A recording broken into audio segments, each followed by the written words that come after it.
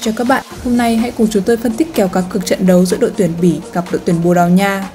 Bỉ và Bồ Đào Nha sẽ phải quyết chiến với nhau trên trận cầu thuộc vòng 1.8 Euro 2020. Đây là trận đấu mà một trong hai đội sẽ có cơ hội đi tiếp nếu đánh bại đối thủ.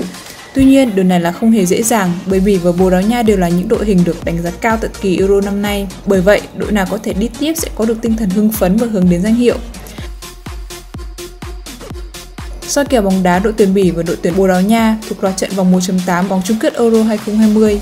Thời gian diễn ra là 2 giờ ngày 28 tháng 6 năm 2021 theo giờ Việt Nam trên sân vận động Olympico de Sevilla thuộc thành phố Sevilla, Tây Ban Nha. Soi kèo trận đấu đội tuyển Bỉ và đội tuyển Bồ Đào Nha. Phong độ của đội tuyển Bỉ 5 trận gần nhất. Đội tuyển Bỉ vẫn chứng minh vì sao họ là đội tuyển đứng số 1 thế giới. Ba trận đấu vừa qua tại vòng bảng Euro họ đều giành chiến thắng cả ba ghi 7 bàn và chỉ để thủng lưới đúng một bàn. Một thành tích rất tốt và đúng với dự đoán của khá nhiều người bởi bảng đấu của họ đều là những đối thủ dưới cơ. Trong năm trận đấu gần nhất, Bỉ cũng sở hữu thành tích ấn tượng với 4 thắng và một hòa. Với tinh thần hưng phấn như vậy, Bỉ đã sẵn sàng cho trận chiến sắp tới. Phong độ của đội tuyển Bồ Đào Nha năm trận gần nhất Đội tuyển Bồ Đào Nha vừa trải qua một màn rượt đuổi tỷ số tốn nhiều sức lực trước đội tuyển Pháp để có tấm vé quan trọng góp mặt tại vòng 1-8.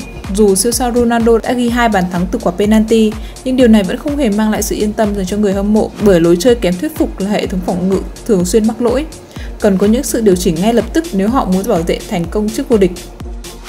Soi kèo tài xỉu đội tuyển Bỉ và đội tuyển Bồ Đào Nha Tỷ lệ kèo tài xỉu, mức kèo tài xỉu nhà cái đưa ra cho hiệp một trận đấu là một hòa, Người chơi đặt tài ăn 0,94 nếu ra tài và đặt xỉu 0,98 nên trận đấu ra xỉu.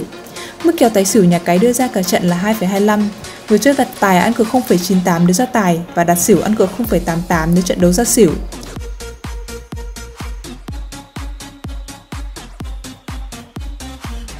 Trong 5 trận đấu vừa qua, đội tuyển Bỉ có 2 trận ra tài và 3 trận ra xỉu. Trong khi đó, đội tuyển Bồ Đào Nha có cho mình 4 trận ra tài và chỉ một trận ra xỉu trong 5 lần ra sân gần nhất.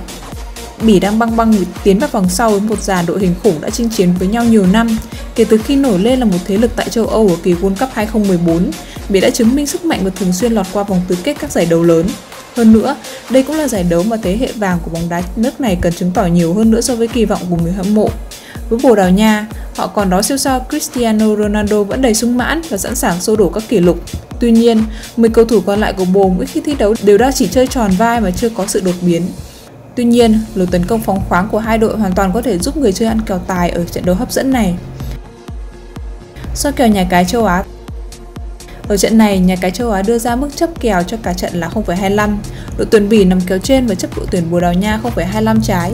Đây là mức chấp hợp lý khi hiện tại Bỉ không chỉ trình diễn những trận cầu thuyết phục hơn Bồ Đào Nha mà vẫn còn đang là đội tuyển số 1 thế giới.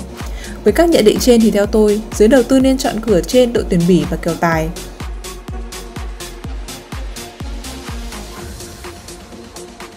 Dự đoán tỷ số trận đấu, đội tuyển Bỉ 2, đội tuyển Bồ Đào Nha 1.